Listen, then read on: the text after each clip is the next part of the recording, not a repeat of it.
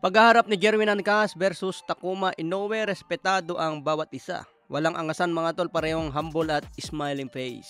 Nakataya ang WBA belt ni Takuma Inoue. Ito ang balak agawin ni Jerwin Ancas kaya kailangan maipanalo ang laban ngayong February 24. Sinabi ni Takuma Inoue si Jerwin Ancas ang isang pinakamatinding makakalaban kaya respetado niya ang Pinoy. May kartada si Takuma na 18 wins 4 KOs may isang talo, 28 ang edad at nangakong talunin si Ancas. Samantala si Ancas may kartadang 34 wins, 23 KOs may tatlong talo. Natalo mula sa isang Pinoy at dalawang beses natalo kay Fernando Martinez. Pagdating sa common event, bakbakan naman ni Junto Nakatani versus Alejandro Santiago.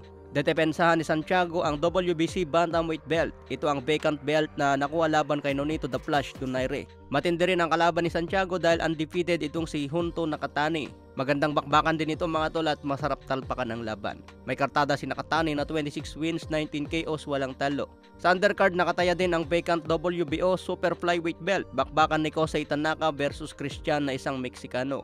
Undercard din ang non-title fight ni Jonas Sultan versus Rico Masuda. Sa iba pang balita, bakbakan ni Ryan Garcia versus Devin Haney. Hindi na daw po gaganapin yan sa Las Vegas. Matatandaan ang unang announcement dapat ganapin sa Las Vegas sa April 20. Pero ayon sa bagong update mga tol, gaganapin na yan sa New York. Nangako si Devin Haney na isang stoppage ang panalo kontra Ryan Garcia. Isang quitter daw si Ryan kaya manatiling quitter na yan kapag nasaktan sa laban.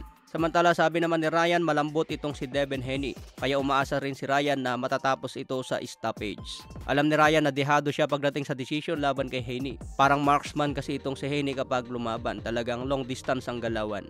Sa iba pang balita, Edgar Berlanga sinabing no match ang laban ni Crawford versus Canelo Alvarez. Parang pinaglaban mo na rin si Terence Crawford versus David Benavides. Kahit may skill si Crawford mga tol, iba pa rin daw ang laki ni Canelo. Magbabago daw ang galawan ni Crawford sa mismong laban sa 168 pounds. Kaya tiwala si Edgar Berlanga na isang cash out lang ang inahabol ni Terence Crawford.